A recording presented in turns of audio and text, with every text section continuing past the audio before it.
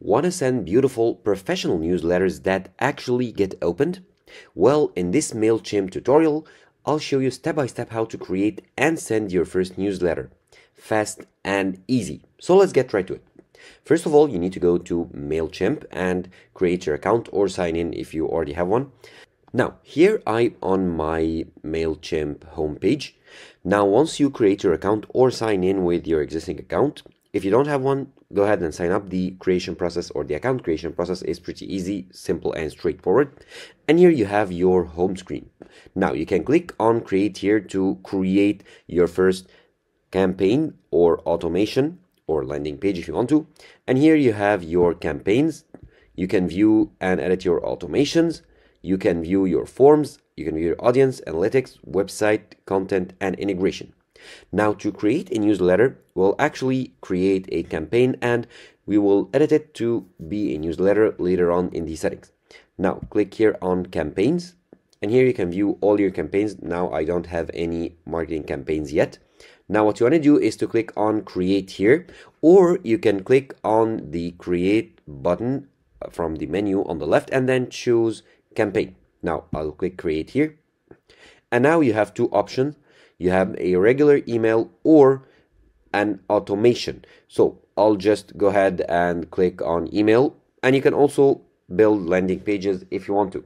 Now I'll click on email and here you have a few options. You can create your campaign or newsletter from scratch you can create it using basic layout so basically the layout is like a blank page but with placeholders for stuff like images links and so on or from a fully designed template for me i'm gonna go with a template because it's easier to edit a pre-made template so I'll click here and here you have some templates for a newsletter however note that these templates are only available for the essential paid plan now you can start a free trial or if you want to stick up with the free plan, you can start with a basic layout.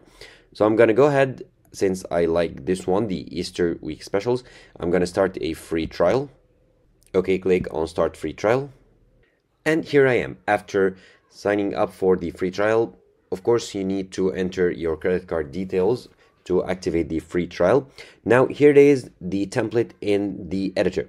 Now you have two views. You can view how your template will look like on a desktop or on a mobile phone. So here you can edit any block as you can see once you hover your mouse over it or you can add pre-made blocks. You can also edit the style and optimize. So I'll go through the styles later. However, let's focus now on the page itself. Now here for the header, for the menu items here, if I click on it, I can see all the settings. So the styles, the visibility and the code, and I can edit all the aspects. So the shop, I can make it, if I highlight the text, I'll type in store, for example, I can edit the text type for the items here. I can edit the font if I want to. Let's change the font. Okay, let's highlight the text first and then choose the font. Okay, it's changed. Make it italic and increase the font size a bit. Change the color. Okay, let's make it blue. Okay, looking good. Now, if I click here on header once again, I can see here the style. I can edit the padding, the margin, and so on. If I click on the code, I can edit the code if you are into that. Now, here I'm done now with the header. Now for this photo, if I click here to move the block, let's move it to the top or duplicate it or delete it. And for this one as well, the title, let's say Easter newsletter. Okay, and I can add a link as well if you want to. So you can add a link here to link to a web page or an email phone number file survey landing page or anchor. So I'm gonna leave it as it is. I can change the photo here. If I click on it it'll open here. I can click on replace. Can upload an image. Okay and this is a random image from my computer. And it is replaced as you can see I can do the same with the text here and the images here. Now, for the button, if I click on the button, I can link it to a web page, email, and the same options here. Now, let's link it, for example, to google.com just to see. And if I hover over the text and highlight it, I can change the text to like for example click me okay also highlighting the text I can edit the font may change the text or the font size make it bold italic underlined or increase or decrease the letter spacing. So let's change the font. Okay. Looking good. And let's do the same with the other button. Let's say click me as well. And as you can see the button expands based on the text size. Let's add for example facebook.com of course you would want to link these buttons to your own website or collection or your own like pages. Okay the styles. I can change the style of the button square round or a pill and I can even increase or decrease the corner roundness to get the shape that I want. I can add a border. So this one for example I can edit the colors the button color. Let's make it this orange color. Okay done. And for the text color let's make it like this purple this dark purple. Okay. I know it doesn't look good but I would just want to show you what you can do or the settings that you have. I can even make the alignment on the left center right for the button the size of it small medium large for the button itself. I can edit the padding and so on so let's go ahead and get back. And now once you change all your or edit all your blocks here this is a divider. I can go ahead and move it or just delete it if I want to.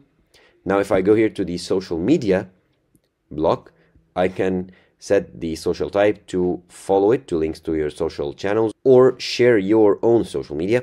So for Facebook here I can add my Facebook page name of the button Facebook Instagram and X formerly Twitter and you can add another social link if you want to to your email or WhatsApp threads Blue Sky LinkedIn Patreon and others so let's add for example, my Threads account. As you can see, the icon appears right here, and you can add your Threads account right here. Now you can go ahead and remove the stuff that you don't want. Okay, now it looks good. Let's add a block.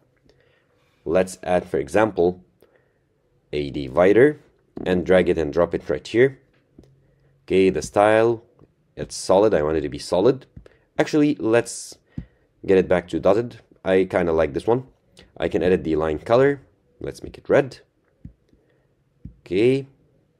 And let's go ahead and add a button here, just under newsletter. Okay, let's, we could say sign up, for example. And let's go to the styles to edit the button color. Let's make it yellow. The text size, let's leave it black. Now the block background, I can add a background as well to make it green. Okay, done and let's go ahead and link it for example to our page so tiktok.com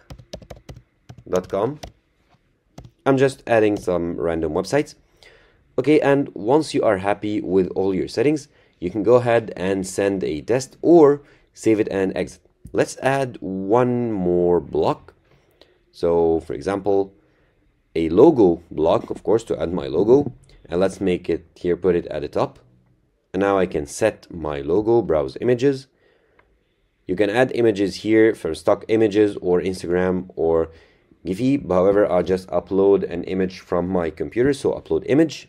I just uploaded an image. I'll just wait for it to upload and it'll be added as my logo. So my logo is added and it's automatically replaced in the other logo block. So let me delete this one and it looks good. Now I can go ahead and save as template or change the template or save and exit or send a test. So if I click on send test, you need to enter the recipient's email to send them the test or here you can click on preview to see how it looks like. Now it looks good. If I click here on sign up, it'll open up, you guessed it, TikTok.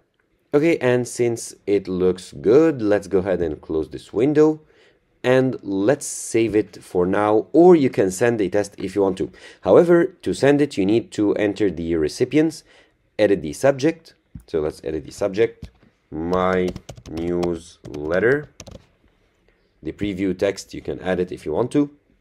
Okay, save. And now you need to add the recipient so you can import contacts since I don't have any contacts yet. And as I told you, edit or schedule the send time and then you are good to go. You can click on send. So this is how easy it is to create newsletters with MailChimp.